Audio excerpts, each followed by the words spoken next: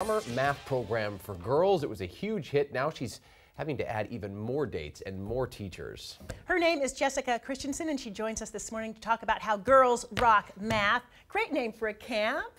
Thank Welcome. you. Thanks for being here. So it's so popular that you've had to expand your program. Tell us about your program. So Girls Rock Math is an arts-based math camp. Um, we run programs throughout the summer, all throughout the city of Seattle and Bellevue.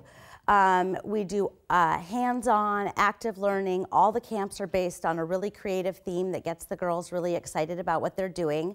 Um, and it's games, and it's fun, and it's songs, and it's awesome. Math is fun. You know, Yeah. It used to be. It used to be that it seemed like math was for boys, and that's so passe now, isn't it? Absolutely, absolutely. Except that the research uh, still shows that girls as young as second grade, no, not that they're behind. They do just as well as boys. But in their mind, in their minds, UW researchers found that second graders already think that math is for boys and reading is for girls.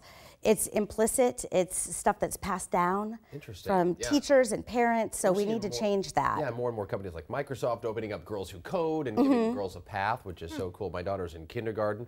She's already catching up to me in math. That's awesome. I don't know if that says more about her or me, but um, what was the response when you first opened this math camp? I was really surprised. I, I was a teacher and I had never really launched anything like this before. I was just crossing my fingers and hoping people would sign up, and it was huge. The first summer, we were in West Seattle and we had a wait list.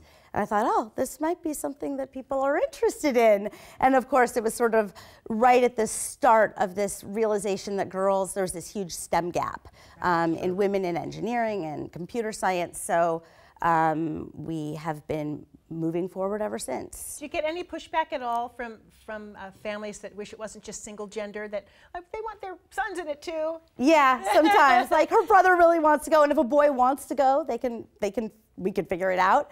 Um, that's not a problem, but it hasn't happened yet.